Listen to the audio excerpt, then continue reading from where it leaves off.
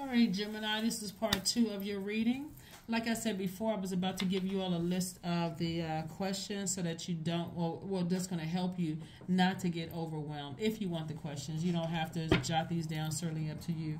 But uh, like I was saying before, the camera cut off is Pisces moon is because Pisces is the last, uh, the last zodiac sign. Um, it, it it can get quite overwhelmed and while it is the most one of the most likable traits is the compassion of Pisces, and I'm seeing compassion here in your cards. So you may have Pisces in your chart. As we get closer to the 30th of this month, Gemini, emotionally things can get overwhelming, especially if you're starting to think about all the deep disappointment, the heartbreak, the all these things. You may be tempted to talk about some things or take some kind of action. Source is saying to you to consider.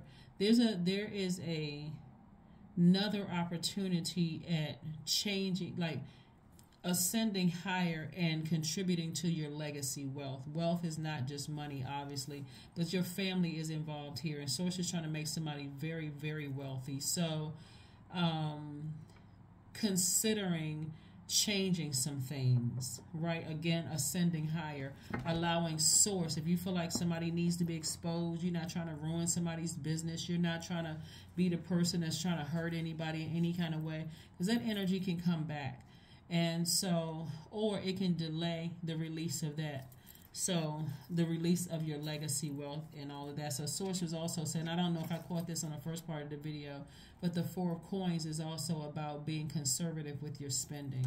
Sometimes when people get stressed, they feel like, okay, you know what, let me go out and spend X amount of dollars on something, then look back and go, hmm, did I really need all of that? Source is really saying to you, be conservative with your spending. But here are the questions um, and as I was saying before, Pisces energy can bring waves of emotions and feelings that you really can't even articulate. And so it could be situations that trigger, you know, um, on the subconscious level. And, and it might take a while before you finally see it clearly because, again, of the overwhelming feelings. But here's some questions. Um, first question is could you could you keep opening up and breaking through the walls of protection and um, defense to heal your deepest wounds with love? Second question is Could you immerse yourself in gentleness and compassion in order to receive and channel true love? Third question is Could you become more connected to the universal, universal unconditional love? Fourth question is um, Can you create healthy boundaries so that you don't take on others' energy? And last but not least is Do you clean and replenish your energy daily? Those are some things you can think about. In the meantime, there's been a lot of air here.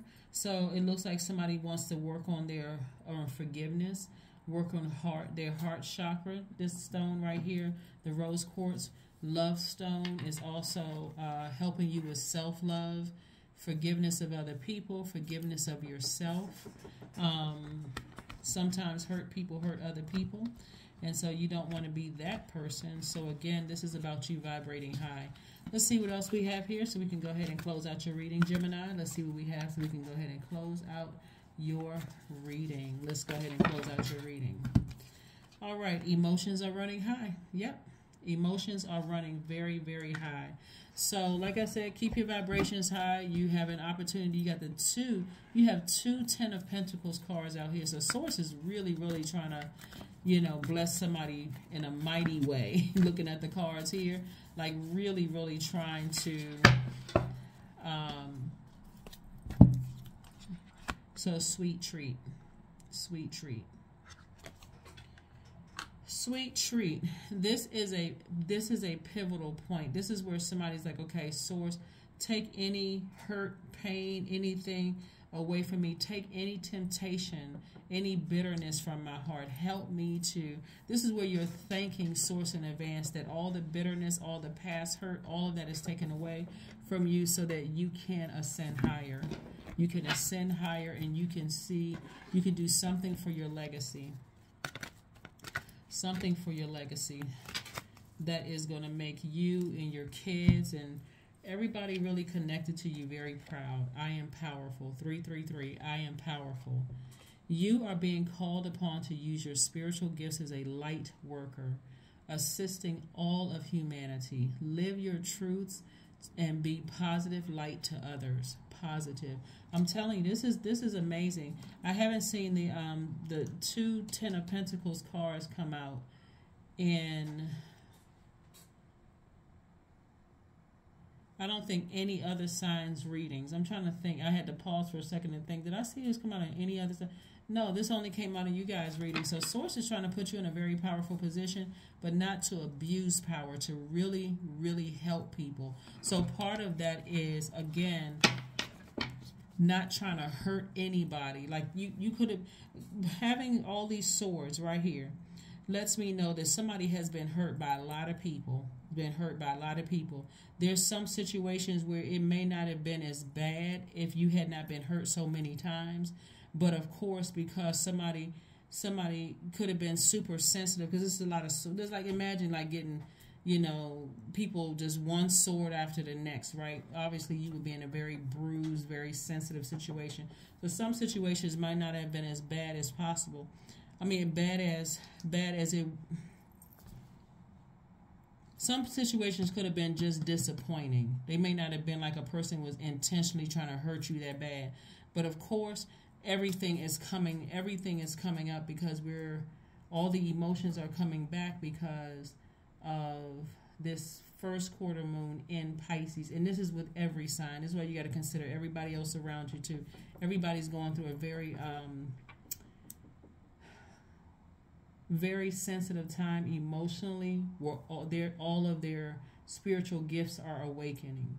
So for some people, especially Pisces, if M, if the MC is Pisces, so you may want to check your birth chart, see if your MC is Pisces.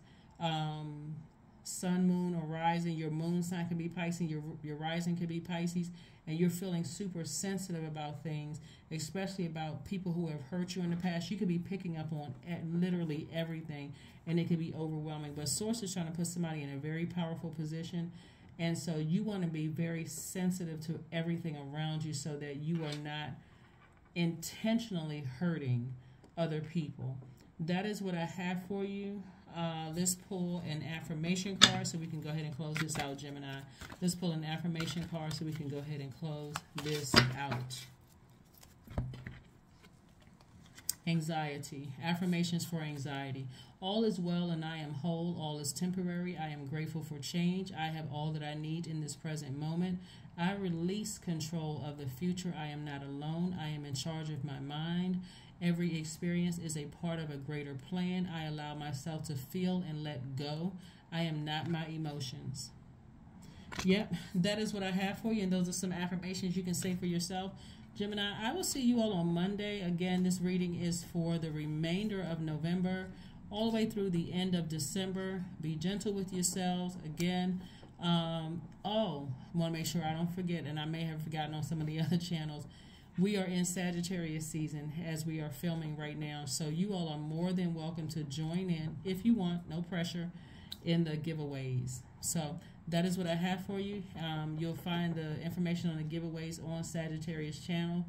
And uh, you'll find out if you have Sagittarius in your chart if you pull your full birth chart. So I encourage you to do that. That's what I have for you. And I will see you all on Monday for Motivational Monday. Bye.